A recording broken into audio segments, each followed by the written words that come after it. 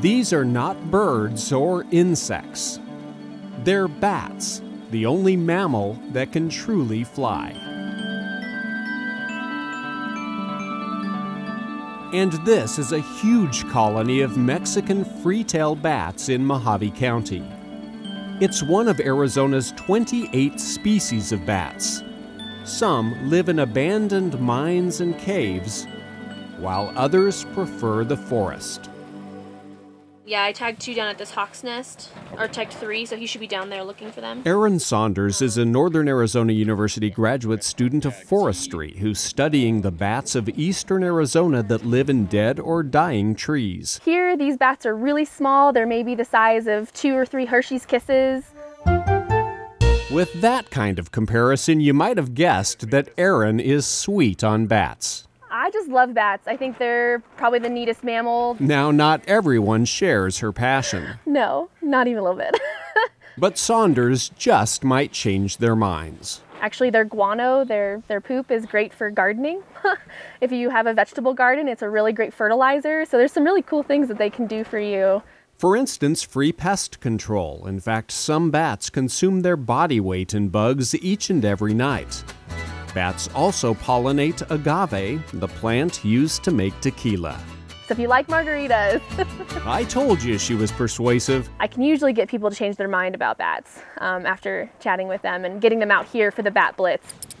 Do we have a bag? Oh, yeah. Ah, the Bat Blitz. Seven bats were tagged last night. It's a um, week a of bat bliss for dozens of volunteers.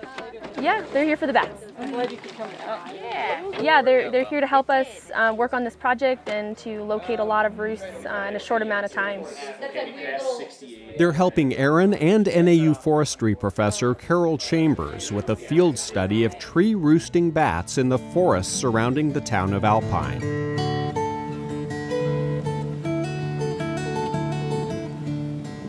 They want to find out how bats react when their habitat is badly burned by wildfire.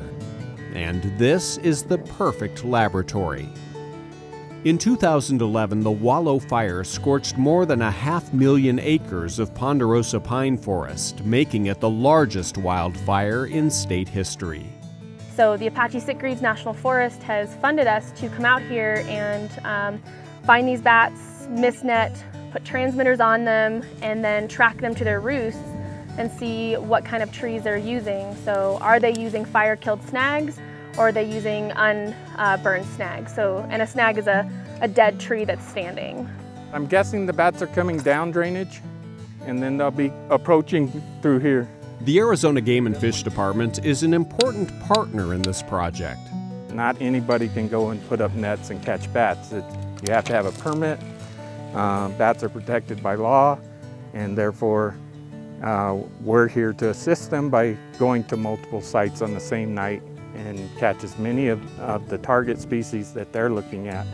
People want to know about how bat populations are doing and it's just very difficult sometimes to answer some of these questions. The age we live in where so much information is at our fingertips, it seems like we would know, but there's so much that we don't know about bats and one of the reasons I really enjoy studying them because they're, they're just such interesting creatures. They're challenging to study. You know, if you think about it, you, you know, you've probably never seen a bat up close unless you're out netting them like this. This is what we call a triple high net.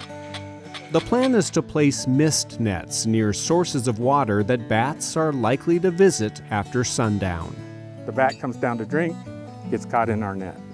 And that's the whole idea around mist netting for bats. Bats certainly can echolocate depending on the surface area that, that's there. Any kind of movement, any kind of clutter, clumping of the net gives more surface area for the bat to detect during the echolocation. So what you're trying to do is get the net stretched where you have the least amount of surface area for that echo to, to hit, or the sound to hit and the echo to come back. With nets in place, the various teams now must wait for nightfall. I think this is a good site. I like it.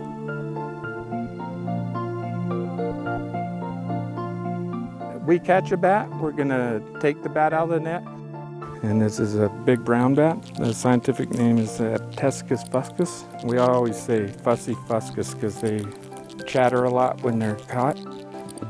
We're going to take it up to the processing station. Bat number one. We're going to process it, so what we're taking is a forearm measurement. They record data for every bat that's captured. We sex it, we identify it to species. This is Allen's lappet browed. Oversized ears. So hoary bat. They're one of the Halloween bats, so very orange wings. We weigh it, we look at the overall health condition. You have an elbow down here out to a wrist, you have a thumb, and then the elongated fingers that make up the wing membrane. They knock insects, they knock them with their wings down into that, they catch them in this net, pull it up and eat it, all in flight. I'm gonna need a swab on it. For some species, they use a buccal swab to collect DNA. Can't be fun. The primary goal is to attach tiny radio transmitters to certain reproductive females. It's like wearing a little backpack, although it's glued on. You're free, and he's off. The transmitter allows researchers to use radio telemetry to track the bat back to its maternity roost. That way, they can see what types of trees and surrounding habitat the bats are using. And we're finding that bats are using burned trees. The results of this study indicate that wildfires, at least in the short term, do not appear to have a major impact on bats. In fact, some species seem to prefer living in the burned parts of the forest. We can give that information to the forest to set management recommendations. It's information that may help the Forest Service decide how to go about removing burned and hazardous trees. This is just the first piece of a, a, potentially very large project in the future. Aaron says there's much more to learn and plenty of reasons to care about bats. There's just so many cool things that they do for our ecosystem that I don't think people realize. This good guy. You were very cooperative. Thank you. So I think they're a lot nicer than people think they are.